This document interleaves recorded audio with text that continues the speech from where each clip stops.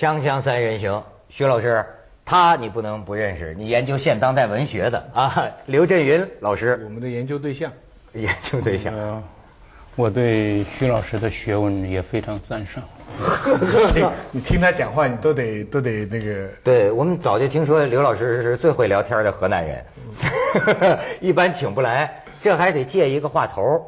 他编剧的一个电影，现在拍完了吧？啊，听尽了。嗯，好，我觉得他这个电影里可以引出咱们很多聊天的事儿。咱们先看一段片花，哎，一起来观赏一下。我给他起来我！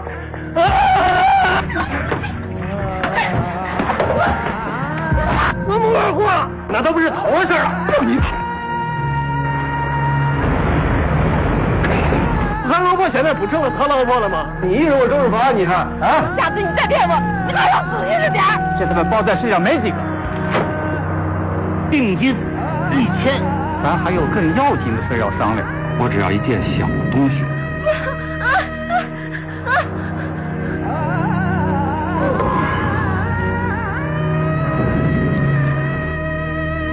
收定金换钱。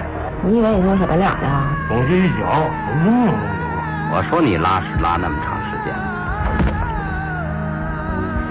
这东西它不在我手里边。你想干啥呀？我真想一刀把他劈了。确实就离死不远了。电影为什么叫我叫刘跃进呢？嗯，我叫刘跃进的话呢，就是名字来讲的话呢，起得非常随意，因为刘跃进的话呢，是我表哥的一个名字。他呢是主要是讲的话呢，就是工地一个厨子，嗯，然后在街上的话呢丢了一个包，这个包里呢装着他的全部财产。他在找包的过程中呢，又捡到了一包，这包里边呢有一个 U 盘，嗯，这个 U 盘里边呢就藏着另外一个生活圈，比如讲的话是上社会的几条人命。几条人命这是一些秘密，可以涉及到人命的秘密对。嗯，呃，呃，这些秘密的话呢，就是牵扯到这些人在生活中各方面的生命，所以好多素不相干的人的话，又开始回头再找刘跃进，哦，就好像刘跃进就是那个那个找到包的那个人。对，是这个戏的主人公。但是这个故事的话呢，就是并不是最重要的。就是当时的话呢，就是呃写这个剧本的时候，对我最有吸引力的呢，是当一件事变成了另外一件事，嗯，又变成第三件事的时候，突然这个人出现了一种不可掌控的状态，但是的话呢，他又必须掌控。结果说这电影拍出来之后，发现全国叫刘跃进的有两百多万。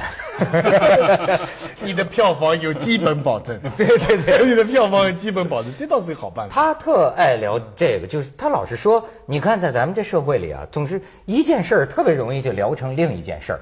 我相信第一次听到你这说法的人不太懂，你指的是什么？你举个例子给我们说说。比如讲的话吧，嗯，这个我村里的表哥就给我打一电话，说真人嗯，借钱，跟你借钱，对我说为什么呀？说你嫂子看不起我，说我没出息，这已经到第二件事儿了。就说到另一件事儿。接着呢说呢，那你觉得你比我有出息吗？我说哥可不敢。他说我觉得你比我还是少有点出息，但是为什么你比我有出息这么多年？你想想你帮过我什么？电话里跟我急了。啊我觉得就是也是一件事儿，第二件事儿，第三件事儿。嗯我觉得这中国人在一起的话，就这个生活习惯，还不单是个思维习惯啊，跳跃性对这个生活习惯呢，就是带来的沟通成本呢是非常非常大的。我都有体会啊。你比如举个例子来说，你要你要是跟香港人的公司里打工，哎，我觉得香港这种事情少。香港人一件事儿就是一件事儿，就比如说我请你做主持人，这多少钱呢？是吧？满意不满意？同意咱就呃和，不同意咱就散，没别的话。但是呢，你要是跟我这个大陆兄弟呢，那在一起他没那么简单。说你到我这儿来做，你看咱们多少年的交情了啊！你这个这这这这么多年风风雨雨一起过来，你说慢慢慢谈着谈着，这咱不是谈雇佣吗？嗯，谈到另一件事儿了。这叫情理不分了。哎，你这个电影啊，你作为作家编这么一个故事，最早得有点什么事儿触刺激了你吧，触动了你啊？嗯，找到一个我觉得也也是呢，就是这个不可掌控的状态。那第一个的话呢，就是我是从报纸上看到的，这嗯也是去年零零六年发生的事儿，说宁夏呀，宁夏，对，一帮这个农民啊，拆这个别墅，这个别墅呢是过去一个高官住的，拆着拆着呀，从顶棚里啊拆出来一个存折，嗯，而这个存折里边有几百万，在搬家的时候啊忘了，这个忘了哎是两个在世界上从来都不认识的人，因为这个存折发生了一个特别大的关系。啊也因为这个存折的话呢，这个高官就顺藤摸瓜，一溜人全部给拿下。哦，我觉得就是这个互不相干的人，因为一个偶然的事情突然遇到了一起，又出现了相互不可掌控的状态。我觉得呢，他特别容易出喜剧。就另外一个事儿的话，对我触动比较大，也是零六年的话呢，就是发生的一个比较大的事儿吧。嗯就是伊拉克。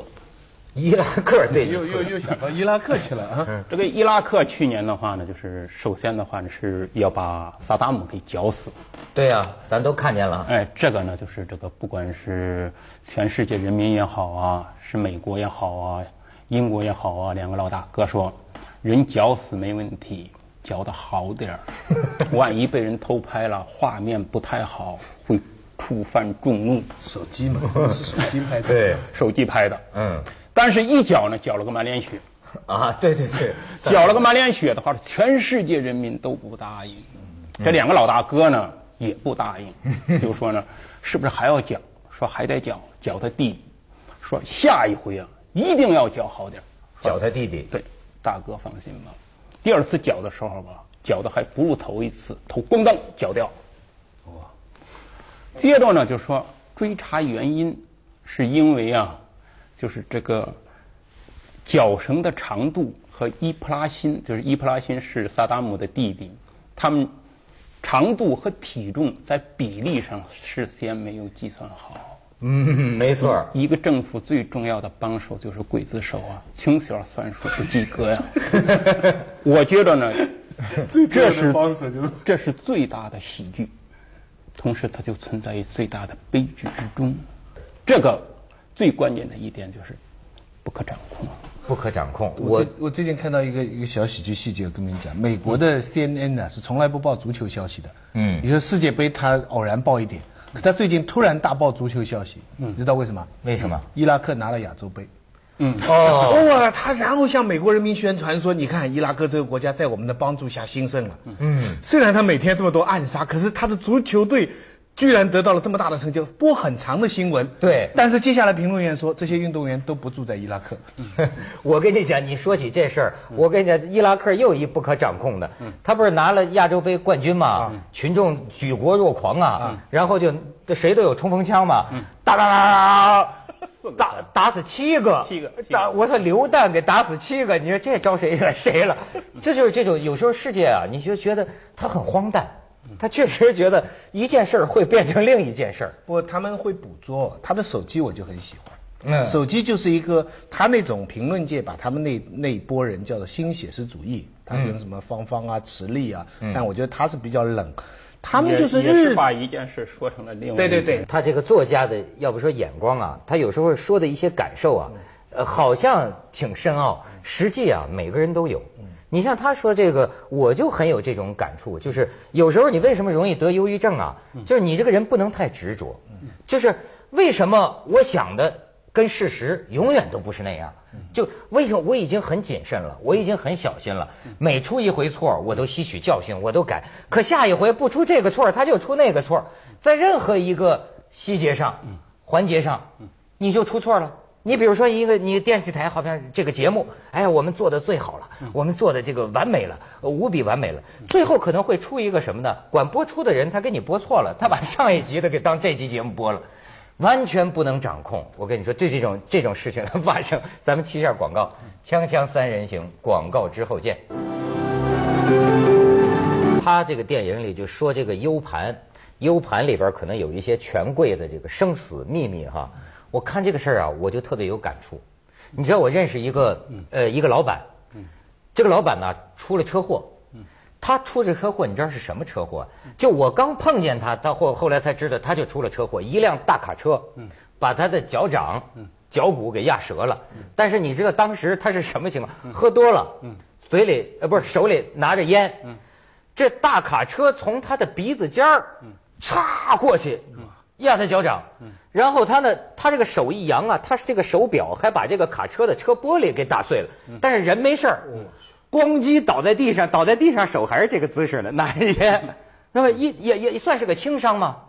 后来我就说啊，我就大难不死啊，这算是。对，我就觉得呢，我就挺迷信哈。我说一个人有一个人的运势，我就跟他说，我说你看你出这车祸，就反映你这个人的运势。什么运势呢？富贵险中求。咱们这儿啊，你也甭羡慕人，看这明星有名了，还春风得意了，或者大富大贵之人，我跟你说这个危机啊，随便一个很小的小蛛丝马迹的偶然因素，它咣叽你就遮了。对对而且那个高官存折存在呃别墅里啊，这个细节我仔细琢磨就越来越奇怪。就是说，一般来说高官如果多钱的话哈，他不存银行的，因为存银行容易被查，他们就放现金的。对，呃，深圳现在楼飞涨嘛，这半年涨百分之四十吧。我碰到一官员，他说其实海外的买深圳楼只有百分之七，深圳的这些最贵的楼啊，他说你要是真的去查的话，开具当当然咱们这只是猜测哈，全国各省地一级的领导的亲戚们，在深圳买楼比例极高。他说：“其实啊，你们讲偶然性啊，他说说到底要真下决心的话，彻查一下，这偶然性全出来了。嗯所以为什么啊，老是感觉咱们这个很很多人，包括我自己在内啊，其实惶惶不可终日。嗯你要说吧，这小日子过得也不错，嗯可是你好像觉得有一种，我不知道是不是，就是说觉得灾祸任何一天都可能会降临。另外的话呢，就是这个不可掌控的状态呢，除了是一个喜剧时代的话呢，还有一个呢，就会让人目光呢特别短浅。嗯嗯，他顾不得那么长，就好像一个人似的。你比如讲这个人的质量，文涛，质量，质量啊，我要判断一个就是最大的标准。比如讲这个人，他看事情是看两年，还是看二十年，还是看二百年，嗯他就看了两个月，看两天。我觉得这是判断一个人的质量的一个最基本的一个标准了。哦，哎，哎这个是很有意思的说法啊。呃，比如讲，要是看二十年的人做事儿，和一个看两天、两个月两个人做事儿，他的出发点，包括他做事的方式，包括最后追求的结果，嗯都是非常不一样的。你看多少年？呃，我看的年头的话呢，是跟窦文涛老师是比他少一天。少一天，那就是今天，我就看明天。他这个就是说的是一个事情，另外就是那个事情了。他这个绕弯子 有。时候就是我在那个高速路上走的时候啊，我就发现的话呢，就是刚才像那个文涛说的这种惶惶不可终日。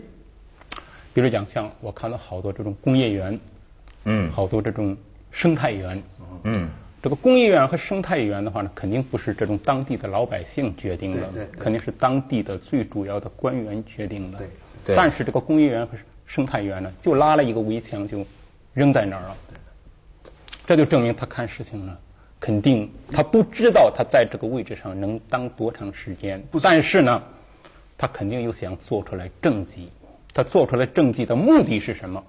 这个咱们不是另外一个。我大概是这样的情况，就是说他看就是看任期，嗯，对。所以他这个任期里有这个工业园了，有这个东西可以汇报了，嗯就行了。嗯比如讲的话呢，就是这个街道，包括道路两边儿嗯特别脏，也特别乱，特别差。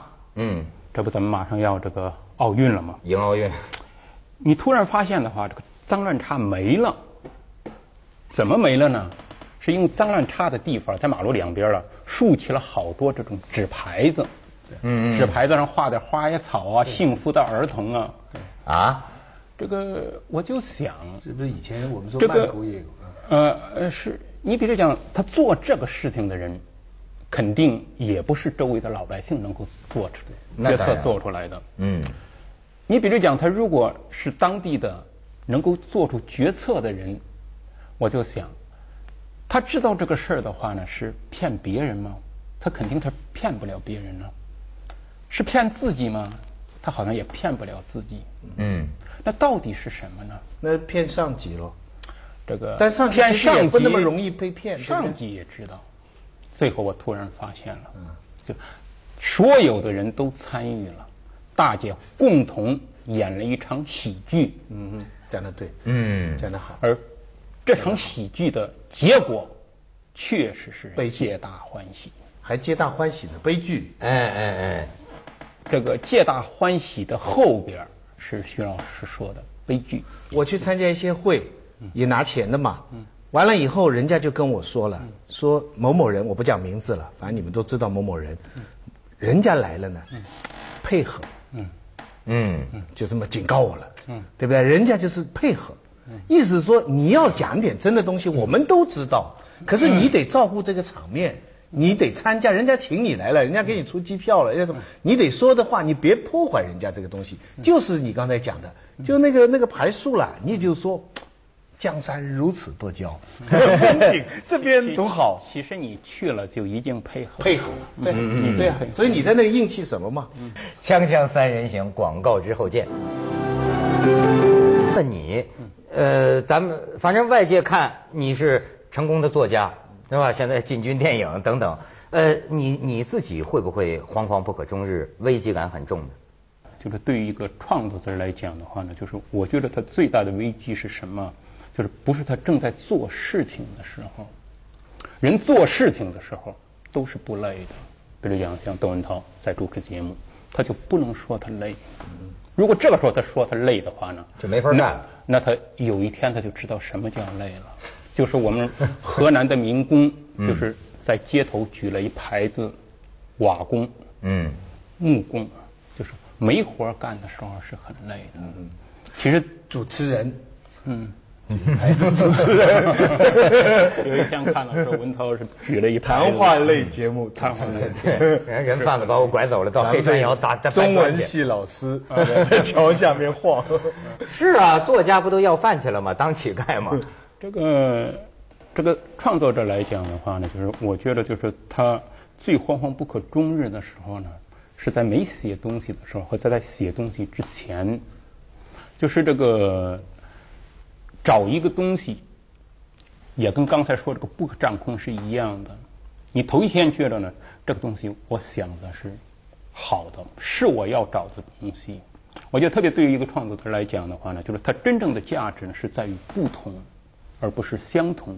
对而这个不同的话呢，你不但要不同于别人，还要不同于以前的自己。他们最大的负担是以前自己的作品，呃，你知道一个人是过去有句话叫“江山易改，本性难移”。一个人否定自己是非常不容易的。嗯，所以的话呢，从做人的角度来讲啊，毛泽东是个非常伟大的人，海明威也是个非常伟大的人。怎么讲？嗯，他能把自己过去的事情给否定掉。有吗？毛呃，毛泽东就说过嘛，他一辈子做了两件事嘛，一件事不是那个打败了蒋介石嘛，还有一个就是说呢，打败了刘少奇嘛，就发动了文化大革命嘛。他把自己建设的东西哗啦又全毁掉了，但是主席也陷到不可掌控的状态了。他没想到达到再这个见什么那么久，老人家不知道。我觉得这个时候是他非常惶惶不可终日的时候。而这个写东西的话呢，就是你找四十九次都没找到，你觉得好像在村里这个人蹲着呢，或者在山里藏着呢，全去了，全没有。嗯，好多人的话呢，可能四十次、三十五次走了，嗯但是你一定要坚持住。你找到第五十一次的时候，那人哦，是他，就在你身边坐着呢。啊，你跟他那人却在灯火阑珊处火。阑珊处。说一开始的话，写东西的话呢，就是我都是误打误撞。最后我发现的话呢，写东西，徐老师的话呢，你跟你这个作品，包括作品里的人物本身的话呢，也是一种缘分。对对，有生命联系，碰到了，很同意。身边的人、周围的人都不是朋友。孔子《论语》是一个从头至尾骂人的一个一个篇章啊，说有朋自远方来，不亦乐乎？骂人骂得很厉害呀、就证明身边的人没有一个可以说话的。哦，是这么解呀、行行，来了于丹高明。来了一人嘛，嗯，哎呦，你可来了！那个人是不是朋友？且说，且拿那个人给你们俩人说事儿。哦，哎呦，有朋呃，也呃，跟他谈不上话呀。嗯，所以突然出现一人嘛，哎，在路口相遇了。大哥哪里去？说去汴梁。您呢也去，又在一块儿抽烟，相互也投脾气，说一块儿作伴儿去吧。俩人就一块儿作伴儿去了。到了汴梁，个人要做小生意，就依手而别。嗯，过了好多年呢，突然就想，哟，老窦不知怎么样了。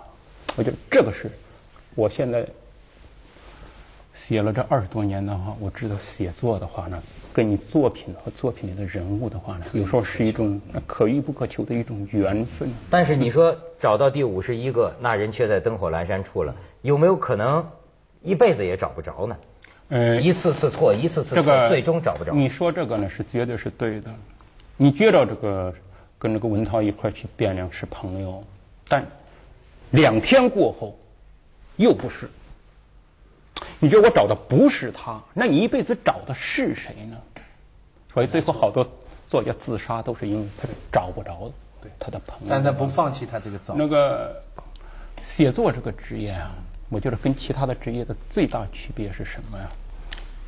是以失败为告终的，就是跟跳高一样跟跳高一样，就是你像其他球类比赛吧，总是要决出一个决胜者，就像伊拉克、俄罗斯，对，但是这个有点像跳高你总是跳不过去的时候，下一个是你最好的。而且你永远不知道哪一个是你最好的成绩，说不定那个最好成绩十年前已经写出来了，你的余生只是在追求它的最终一个回音，最终但是你不放弃的，你总是在追。然后最终精疲力